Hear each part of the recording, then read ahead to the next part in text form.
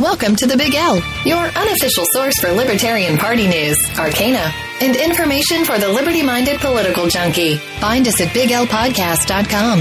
Here's your host, Libertarian Party insider and the pink flame of liberty, Caryn Ann Harlos. Well, hello, everyone. This may be, in fact, the episode that you have been waiting for, or as I said on Face Beast, I don't think you're ready for this jelly, but here you go. It's entitled From Apathy to Anarchy Why I Am an Anarchist, What That Means, and Why You Should Be One Too. This subject comes up often and hard, and one that I am sure I will be addressing in many ways from many angles over hopefully our long time together. But before we get started, I would like to make some needed recognitions and thank yous. Thank you to the Patreon supporters of this show. Silver patron Tom Knapp with his heart of gold. Gold patrons David Jeffries and Catherine Iverson. And a huge thank you to Catherine for the fantastic cartoon she drew of me. I'll throw it up into the Patreon feed so you can, you can take a look at it. I'm completely over the moon about it and I'll be using it in my YouTube channel. And executive producer Ken Bates. I wish I could somehow show how absolutely insane my life is and like the small miracle it is that really anything comes together because I'm doing a million gazillion things at once. And with it now being 2019 and another year older, I am not a spring chicken. I would like to devote more focused effort to liberty. But in order to do that, I need to be able to support myself, at least partially with this work. I have a goal of getting to $200 a month in patrons for this podcast by the end of March. So I ask you humbly if you would please consider becoming a patron and living the reality of the voluntary, no such thing as IP community at work. Also, iTunes and other podcatcher reviews are always appreciated and a shout out to the new reviews since my last mention. First up, Herman Hu said, Caryn is fun to listen to. Go into the depth of the history of the Libertarian Party. I especially love her fun sound effects as well as her take on all the inside baseball. Definitely a one of a kind look at the Libertarian Party and a all caps must listen. Herman, you get me. Very few people get me. Be afraid. It's, it's not normal. Yes, I am the one who asked, Hey Siri. Well, let's see if we can do it right now. Hey Siri, what's the difference between a duck? One leg is both the same. See, Siri gets me too. Also, next on the iTunes reviews, Crede Bell, who is Catherine Iverson, previously mentioned, the artist, and this is what she said. We, the newbies of the Libertarian Party, challenge the cult of the omnipotent state. No, she didn't say that part. She said, she did say the newbies of the Libertarian Party, but she then she went on to say, do humbly thank Caryn Ann Harlos for teaching us the history of our party. No, but seriously, I have thoroughly enjoyed learning more about the statement of principles I read over and over and over before deciding to sign my name to it. I never sign my name lightly, you see. Joining the party to me means dedicating myself to its success. But how do I keep from repeating the mistakes of the past if I do not know our history? My fifth grade teacher used to push his glasses up his nose with his middle finger and taught us to read between the lines, which is hilarious, and that history is written by the victors. I am enjoying the honesty and thoroughness of your telling of events, and it has the same ring of truth and critical thought that I got from him all those years ago. I'm not wealthy yet, but here's why I decided to become a patron today. You have provided something I find valuable and worth perpetrating. When I was a little girl watching Red Dwarf marathons on PBS, I thought I might do that someday, but here we are fighting for a world set free in our lifetime. Thank you so much, Catherine. I could say thank you a million times and that wouldn't be sufficient. Also, for your guys' knowledge, um, this episode will be produced in video form for my YouTube channel, Pink Flame of Liberty, as well, in case you want to see it in a, another format. As I said, you know, I know some of you out there are twisted and just can't get enough. So now back to the topic at hand. The year is 2014. The place is suburban Castle Rock, Colorado. And our subject is a middle aged paralegal, newly remarried and starting a new life in a new state after pulling up roots from everything she's known and taking a chance for personal freedom. As I mentioned in one of the first podcasts, I became a libertarian quite unexpectedly, literally over the course of a lunch hour. I was not political. I had stopped voting some time ago, so Getting politically involved was the last thing on my mind, perhaps only outranked by spleen worms. But I am always curious for knowledge. And after using the term libertarian and realizing that I only knew what it meant in a theological sense, so in a soteriological context rather than a political one, I looked up lp.org and everything changed. At that moment, I would have described myself as a small government constitutionalist. America and apple pie and these colors don't run and thank you, sir, for your service, the whole bit. And while I might have cared about who ended up running the state apparatus, I had never really questioned the legitimacy or need for the state apparatus at all.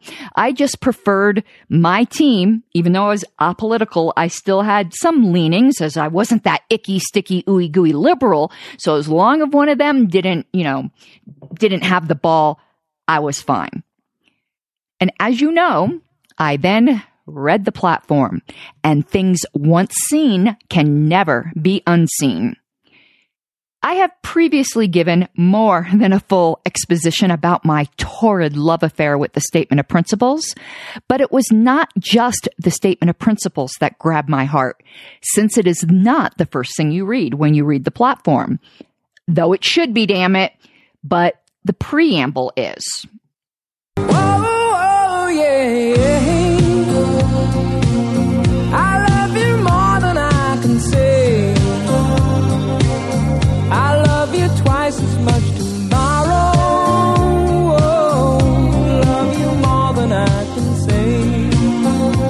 Was part of a love song to my soul and summed up for me my freedom, you know, what, what I was running away from and running to in this new life of mine. And as libertarians, we seek a world of liberty, a world in which all individuals are sovereign over their own lives and are not forced to sacrifice their values for the benefit of others.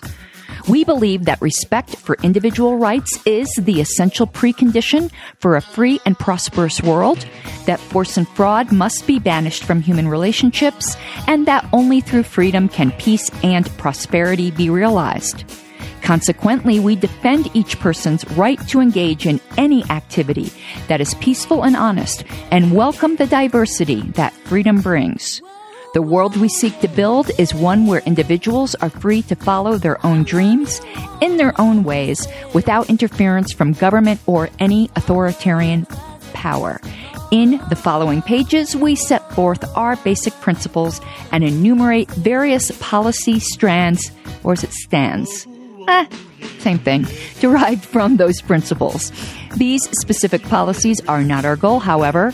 Our goal is nothing more nor less than a world set free in our lifetime, and it is to this end that we take these stands.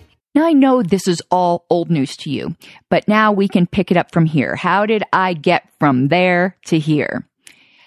I grokked the issue of limited, I mean, truly limited government right away actual minarchy and nearly immediately shed my small government constitutionalist skin for a minarchist one, completely bypassing the typical classical liberal phase.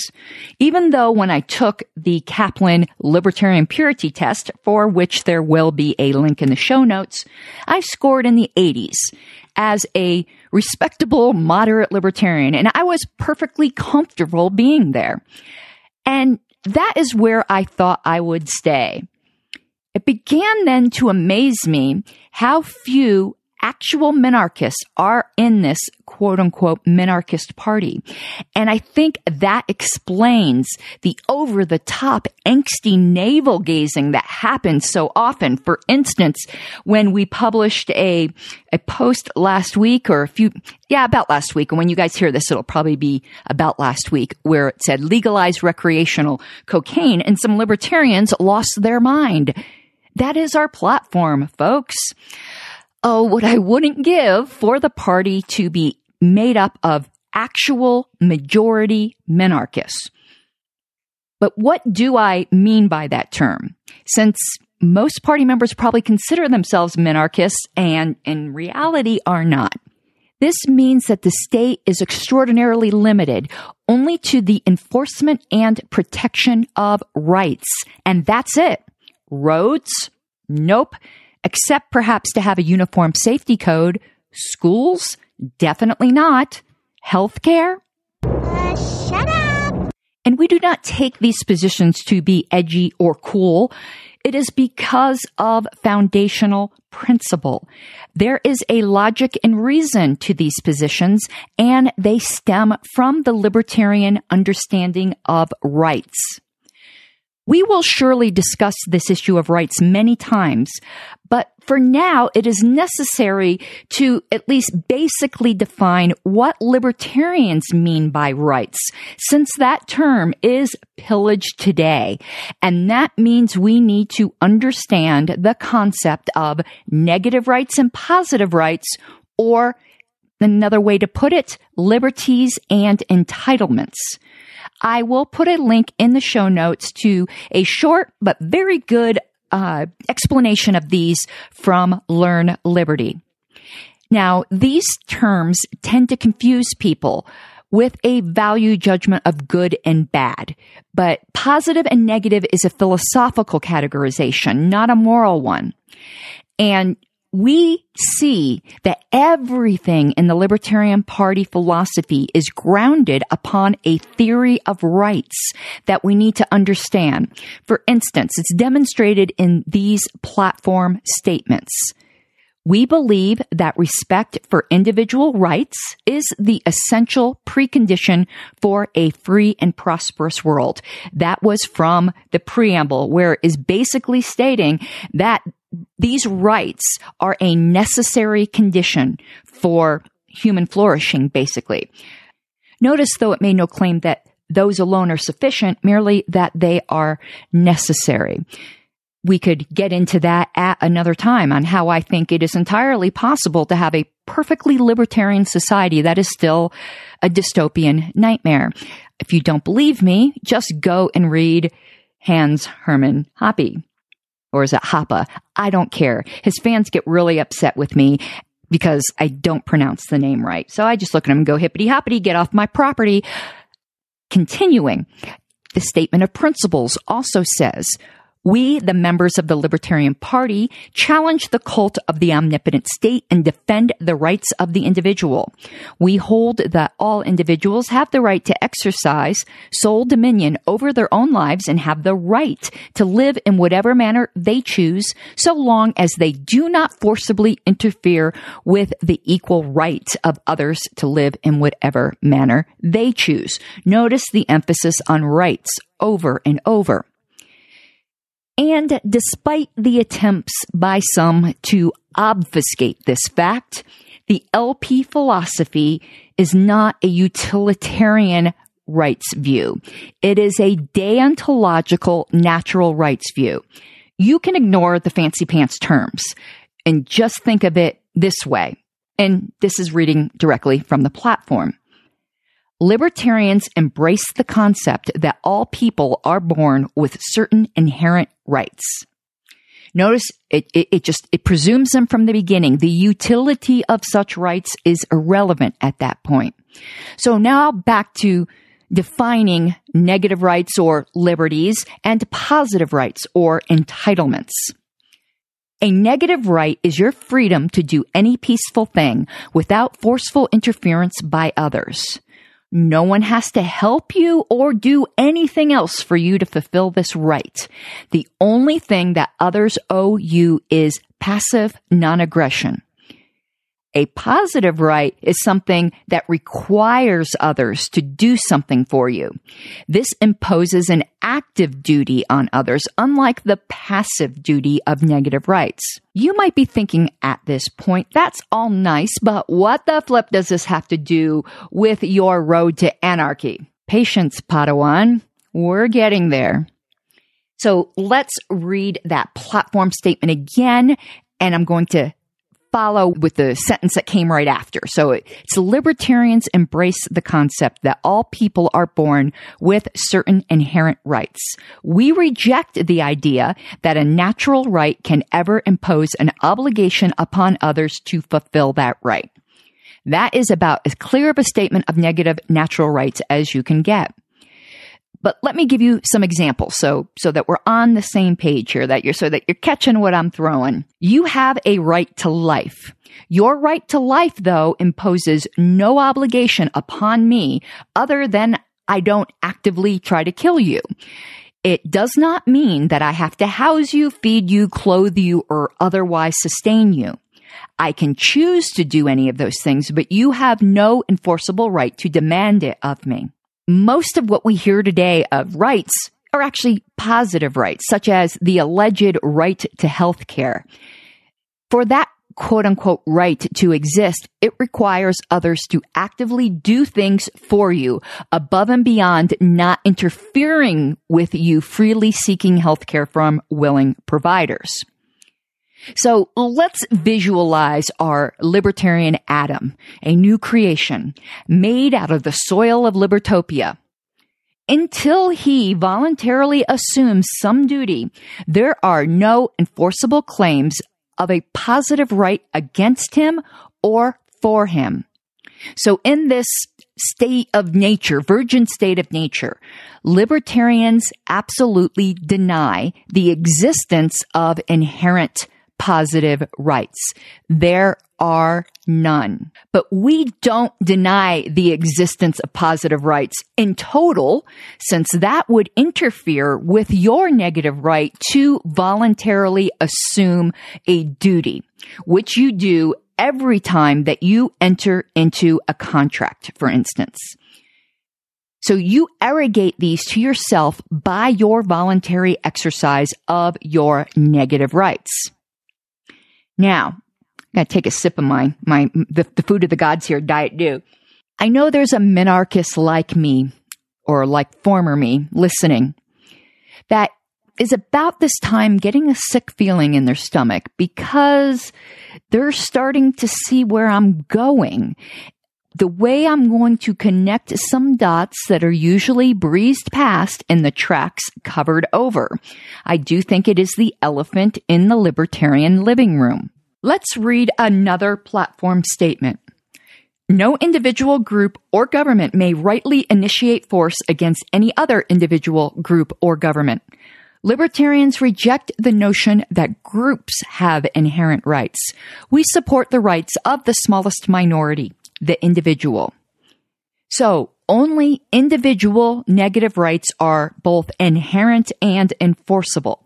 This is self ownership and your right to defend your self ownership against those who would use force to compel you to do something as an entitlement to them. So in this very simplified discussion, we have certain societal options to consider. But before we do, there's another round of clarification that is in order. I am a libertarian anarchist. I am anti-state, but I am not anti-government.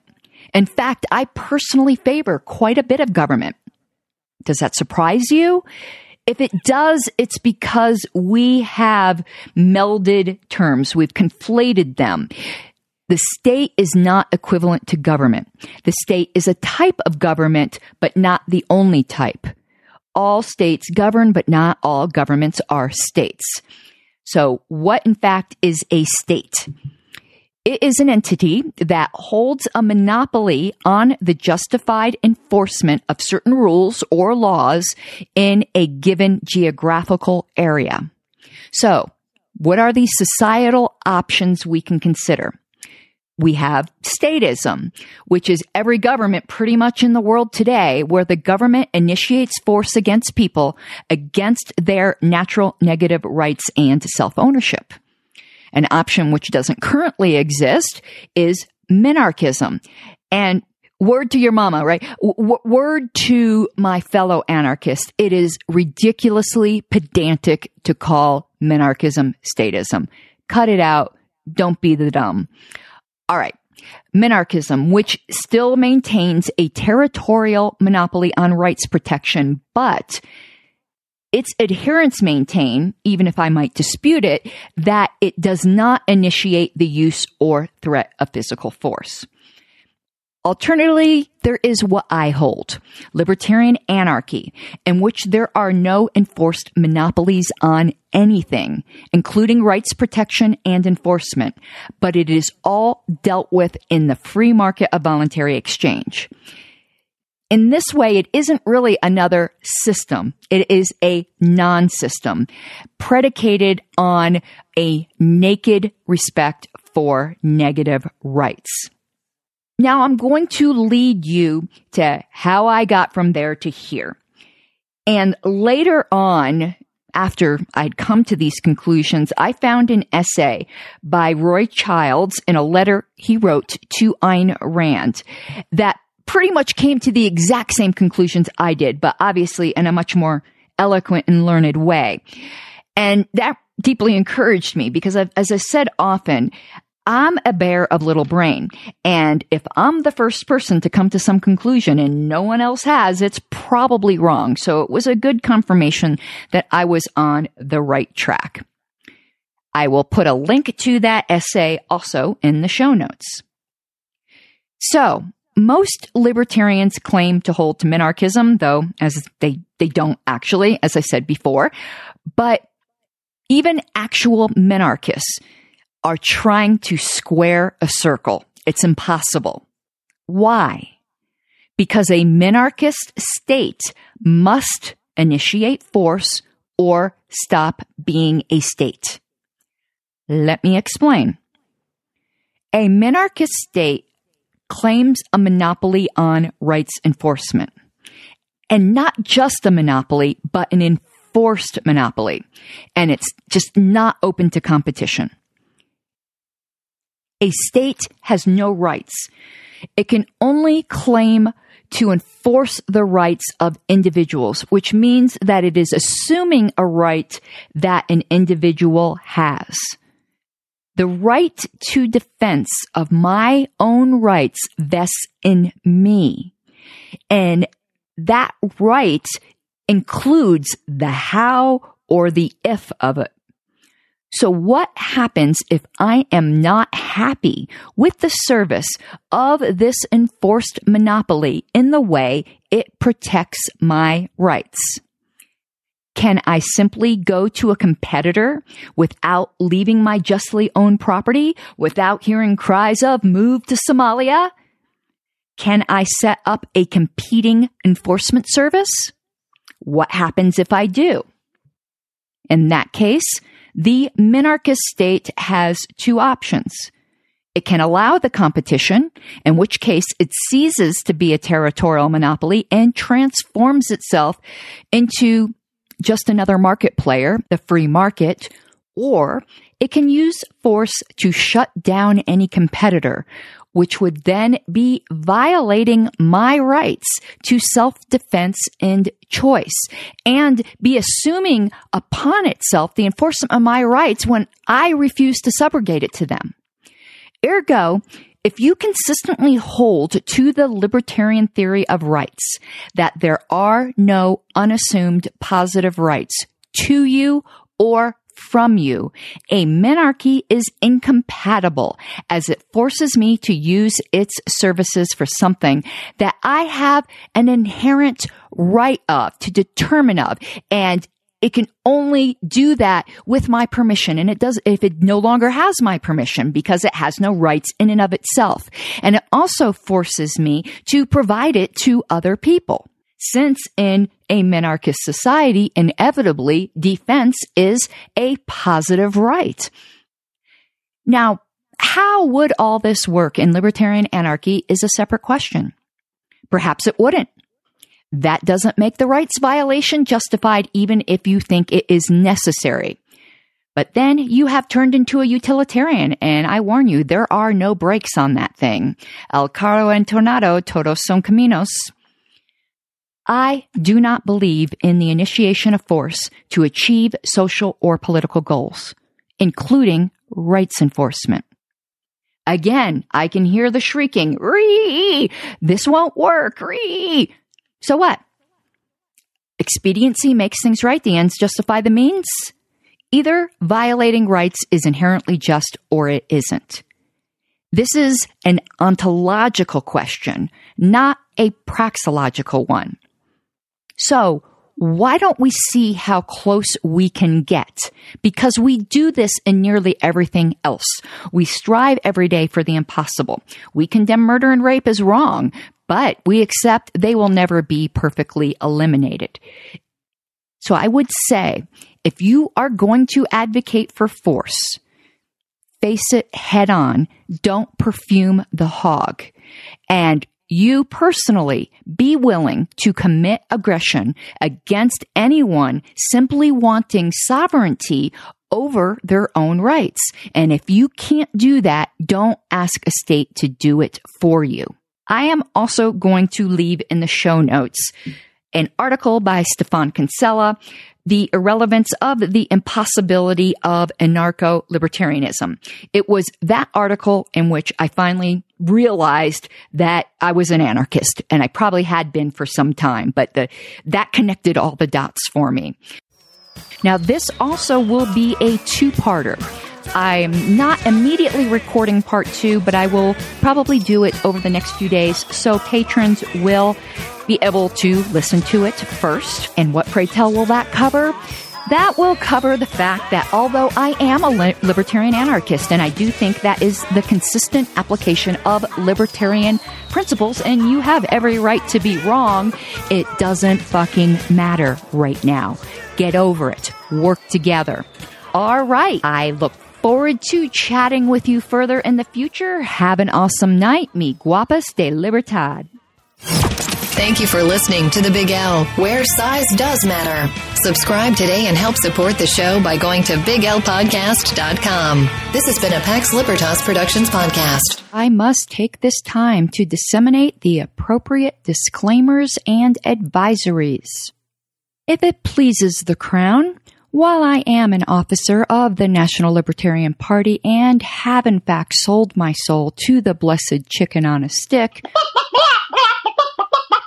all opinions, perspectives, rants, jokes, and outbursts of any and all kinds are solely me speaking on my own behalf and not on behalf of the party.